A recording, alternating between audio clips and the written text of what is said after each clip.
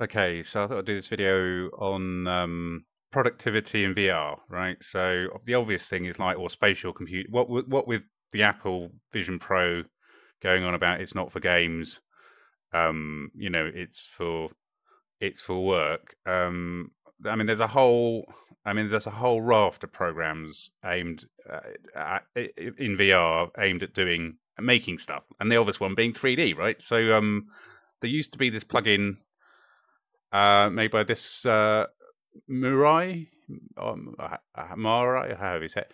Um, and it, they made a plugin for both uh, Blender and, and Maya, and you can see the Maya one in the background. Um, they stopped it on the Blender one, and I used it, and it's it's not it's not great, unfortunately. Um, so I could understand them wanting to focus their efforts on one platform. Um, but they get they do have it up on GitHub, so you can go and get it from GitHub. Um, but the one, uh, so someone else has taken over the mantle, and that's this uh, Freebird XR, and it's really good. If you look at the documentation, this is all the stuff it can do. Um, it can actually do quite a lot. Um, so even like uh, you know moving stuff like that. Um, but yeah, I, am going to launch it. Um, but have go go and have a look. Um, download it, install it. You need the you got to make sure the the VR add-on is installed first. I think, um, and it only I think it only works on three point six. I tried it on four. I couldn't seem to get it to work on four. You need to. Um, I, might be yeah. Anyway, I, I got it working on three point six. So um, and you need, and I'm using Steam Link and a, and a Quest 2. Um, so you need Steam running on your PC and your Quest on the same wireless network and run the Steam Link app. Um, and that, then it should all work, right? So, um, and also, on a slight side note, there's um, I was trying to get OBS to work, um, and there's a plugin for OpenVR, so so I can do this and actually show you that I'm doing it. What is it? switch it off. It's actually all all in VR anyway, and it's quite useful.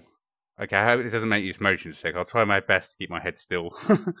um, but the cool thing about um, Steam VR is you can you can pin the, the, the display, and then that will appear in the application. So let's go to um, minimize that and go to Blender. Here's Blender, um, and we can go right start the VR session, and you'll see it all goes black um, so if we go like that, there we go. We're in, in Blender.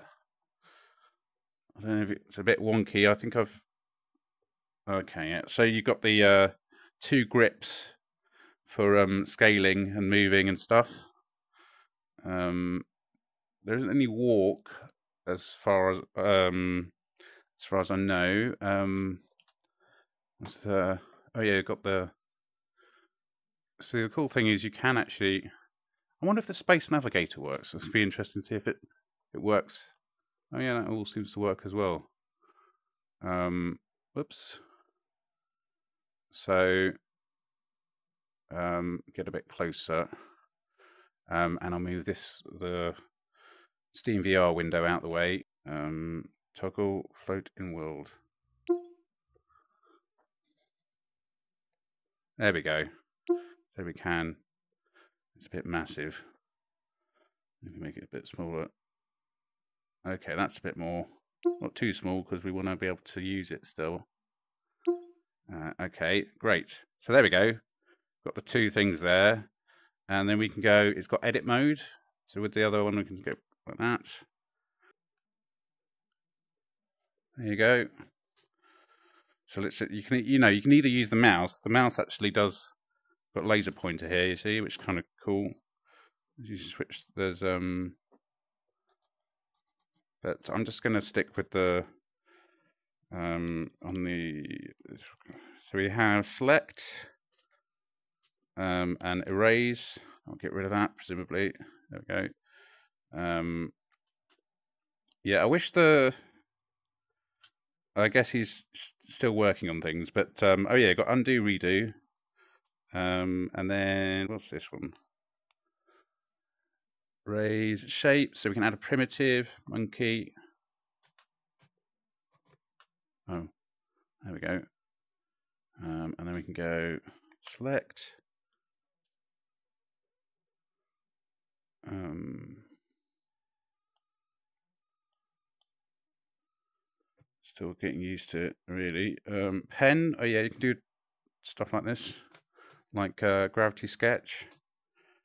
Um, yeah, I'm pretty impressed for, you know, the whole someone doing it in their spare time, I guess. I guess they hope to sell it at some point, but um, um,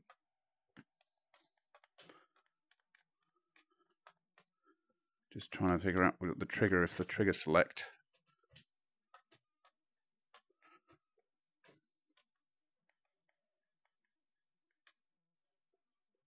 Yeah, so you got grab is grab. Oh, you can just do it. Okay, that's cool. That's oh, that's really good. You just grab stuff. That's actually suddenly makes this. Yeah, so just using the the grab button on the Quest controller, on one on its own, on your right hand, moves stuff. You can select stuff directly. Um, so yeah, so that's it really. Um, yeah, I'm going to keep try and keep these short because uh, I, basically I want to go through the whole. Um, oh, that's because we're in edit mode here, right? So you can grab. But yeah, I mean, I'm really impressed. Um, this is actually quite usable, I think. For um, you know, if you're doing architectural stuff and um, you want to see what it's like actually inside the building. I mean, the next one I'm going to go on to is um, VR Sketch, uh, which is like a SketchUp uh, extension that gets um, allows you to do stuff in Steam VR. But this is like this is really good actually. Um, I mean, you can see me do stuff. I could do, you know, uh, let's go change stuff here, you know, and I can see it all here, or I can do it in here. You know, it's so that's pretty cool. And like I say, my preference is Steam VR over the Oculus because you can pin your displays so you can have reference and, and be in the sculpting program or, or you know Spotify or whatever web page up. Um, so that's it really. I hope this hasn't made you too sick with the me uh, fumbling around. Um, I'm going to stop the video now. So let's see if we can do that. Stop the video.